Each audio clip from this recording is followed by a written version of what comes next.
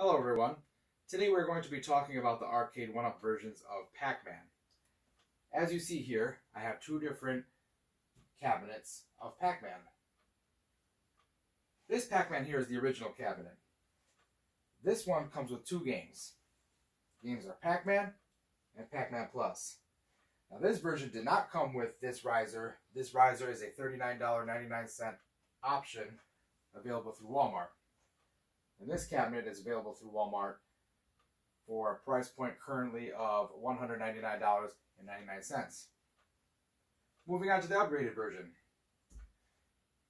This version of Pac-Man comes with a lighter marquee, an improved screen.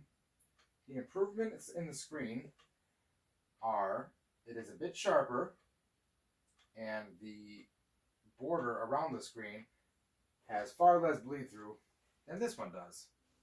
They're both decent screens, and you probably won't notice too much of a difference if you didn't look at them side by side, but this one definitely is the better screen. Now, looking at the control decks, nearly identical. However, this one has an addi uh, additional button right here. We'll get to that in a second. Uh, the original cabinet had three volume selections.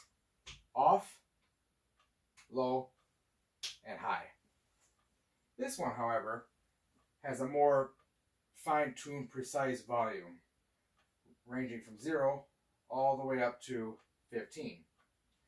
Now, the volume on the original cabinet here was very loud, even on the low setting, so I'm very happy that they incorporated this fine-tuning of the volume in this cabinet.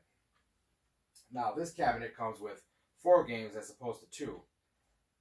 It comes with Pac-Man and Pac-Man Plus, just like the original. However, they've added Pac-N-Pal and Pac-Mania. Now this button is an action button for Pac-N-Pal for activating your special, and an action button for Pac-Mania to activate the jump. And as you notice, that this um, version of Pac-Man comes with the uh, matching custom riser as well. So I'm going to go ahead and bring the camera in because the, the um, backlit marquee looks washed out on my camera. I'm using my cell phone. I don't have a, a fancy uh, camera, so let me bring this camera in for everyone to see.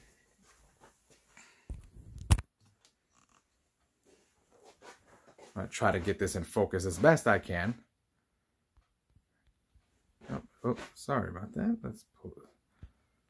Let's put that down. There we go. Okay. And I'm going to get a shot of that with the lights off as well.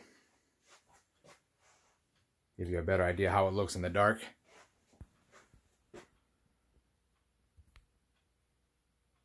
There we go. That's about as best as I can get it. So, there you have it. Is it worth a $200 upgrade? You guys let me know. Leave me a comment below. Let me know what you think. And if you have any questions, uh, please feel free to ask and I will answer them to the best of my ability. In the meantime, game on and enjoy.